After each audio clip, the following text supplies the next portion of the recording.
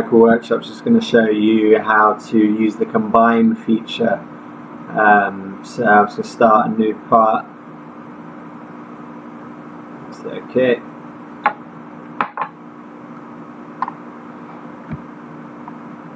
And to show you the combine feature, we, it's always about using two solid bodies. Um, so we're just going to sketch out two solid bodies real quick. So we go to our top plane, start sketch. We're just going to make rectangle like that.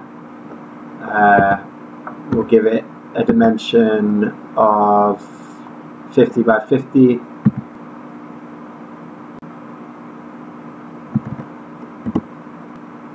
And then press emboss your features tab. So let's make that 50 mil.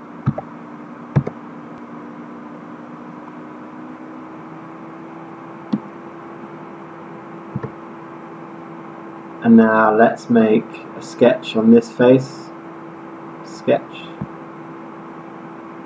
And we're going to use another rectangle. We're going to start the center point there. And I'm not going to give this a dimension. We're just going to emboss mid plane. So now it's halfway there, halfway there. So there's bodies interfering. Now this is really important. The merge results must be deselected for it to work. So let me show you if I didn't deselect it, when I come up here to see if I can use combine, it's grayed out. So you can't use it yet.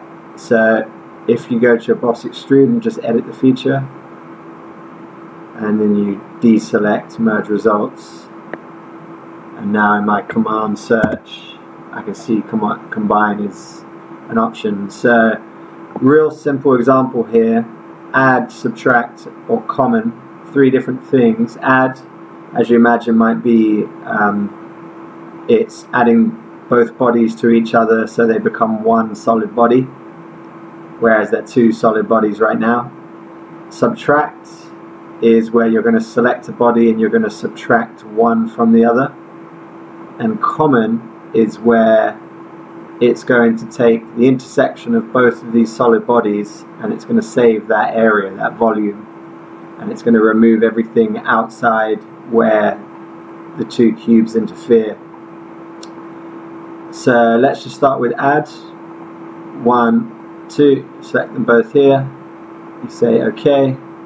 Now we know that worked because it's there's no solid bodies folder because there's only one solid body beforehand, if I scroll this back, that removes this temporarily, the combine feature. We can see there's two solid bodies, A and B. So let's go back to our combine feature. Now if we're going to do subtract, we're going to set one as a main body, so we're going to say this is the main body. So, so select here, this is the main body, and now we're going to subtract this body from that body. And that's what you get there.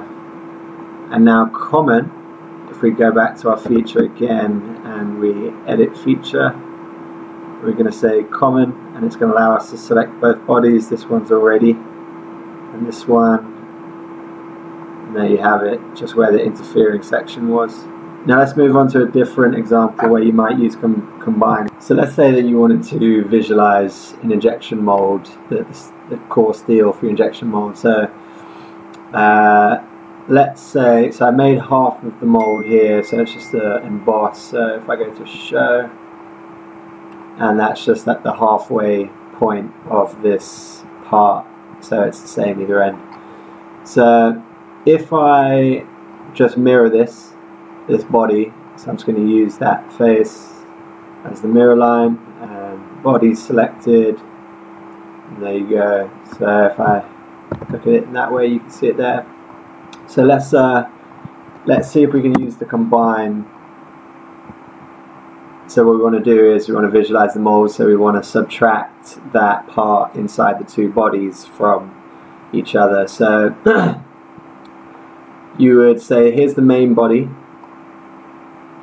and the body that I want to subtract from this is going to, if you select your drop down menu, you can select it there.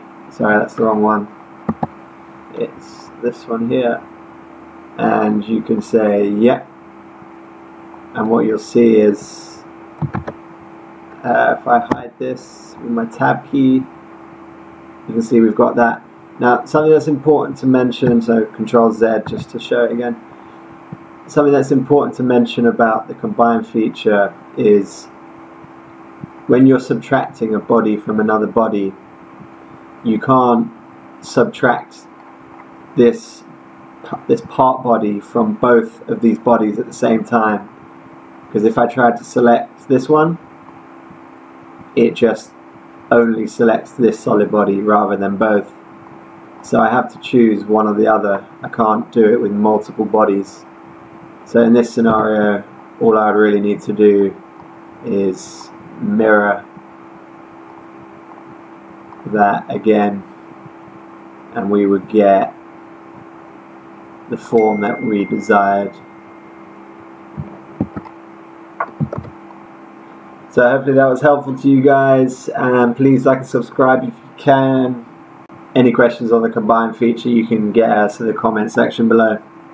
Cheers!